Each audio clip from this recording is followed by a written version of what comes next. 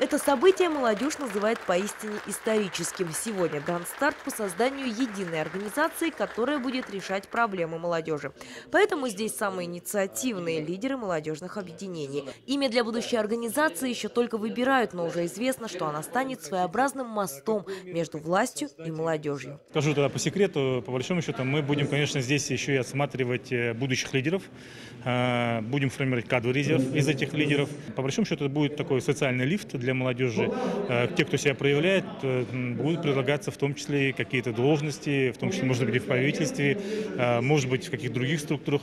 Таких организаций пока нет ни в одном субъекте Российской Федерации, отметил глава Бурятии. Вячеслав Наговицын постарался выслушать всех. Например, представитель КВН Бурятии Чингис Болотов говорил о том, что артистам хотелось бы выступать на хороших сценах, но высокая арендная плата этого не позволяет. Мы заполним полный зал, и, к сожалению, все эти деньги вынуждены будем отдать за аренду зала.